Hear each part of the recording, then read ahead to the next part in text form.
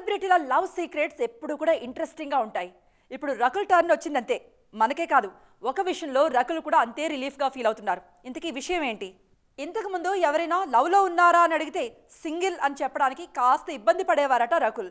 సన్నిహితులకు ఫ్యామిలీకి తన లవ్ విషయం ఎప్పటి నుండో తెలుసట. జాకీ భగ్నానిలో తనకు నచ్చిన విషయాలు చాలా ఉన్నాయంటున్నారు రకుల్. ఫుడ్ జిమ్ విషయంలో ఇద్దరు ఒకేలా ఆలోచిస్తారట. తనకు జాకీలో అమితంగా నచ్చిన విషయం కూడా అదే అంటున్నారు రకుల్. ఇప్పట్లో పెళ్ళి చేసుకునే ఆలోచన లేదని వర్క్ను ఆర్గనైజ్ చేసుకునే తీరు ఇద్దరిది ఒకేలా ఉంటుంది అనేది రకులు చెబుతున్న మాట.